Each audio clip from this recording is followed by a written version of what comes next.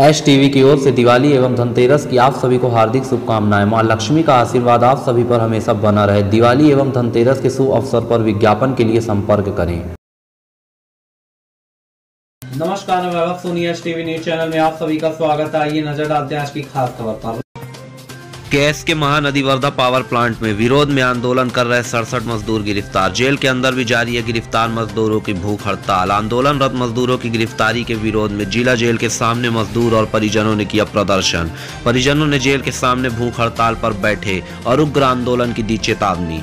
छत्तीसगढ़ के अकलतरा विधानसभा में स्थापित केस के महानदी वर्धा प्लांट के मजदूर और प्लांट प्रबंधन के बीच पिछले एक माह से चल रहा विवाद थमने का नाम नहीं ले रहा है। दिनों दिन यह विवाद और गहराता जा रहा है। वेतन बढ़ोतरी को लेकर प्लांट के मजदूर के बढ़ते आक्रोश को देखते हुए 17 सितंबर को प्लांट प्रबंधन ने प्लांट को लॉक आउट कर दिया था। प्लांट लॉक आउट होने से प्लांट में काम करने वाले लगभग 5000 मजदूर के सामने रोजी रोटी का संकट आ खड़ा हुआ था, जिसे देखते हुए जिला प्रशासन ने दखल किया था।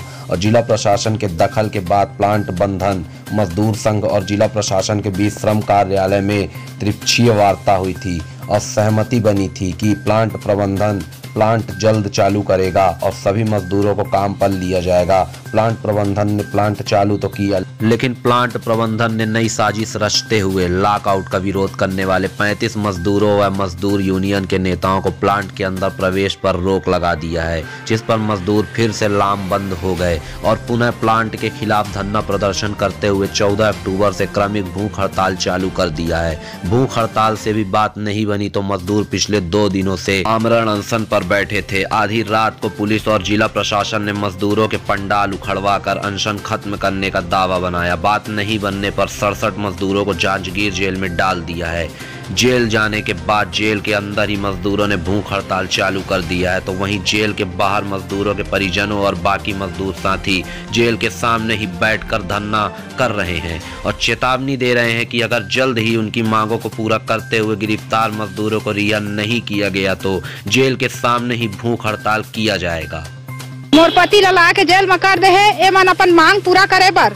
ओ आन हड़ताल करत रही से, न कोई भगदड़ में चाहे न कुछ नहीं शांति पूर्वक करत रही से हड़ताल। और एमन के मांग ला नहीं पूरा करे है, एमन काल तुमन कलेक्टरिंग कर रही तुमन के काल फैसला होई कि, के बता रही सब हमन के आए के बाद, घर आए के बाद, एमन बारह बजे रात कन जेल अंदर कर दे। अगर एमन हमर पति नहीं छोड़ी और हमन के जो जाते मांग पूरा नहीं करही तो हम मनी कर हड़ताल में आके बैठबो। आवाज़ छन बैठे हन, अब हड़ताल करते हैं अंदरों में। नहीं खाते हमन और वो मन नहीं खाते तो हमन का खाबो? हम वन आंदोलन करबो। कल रात को हम लोग अनसर आमला में हमारे साथी लोग बैठे थे।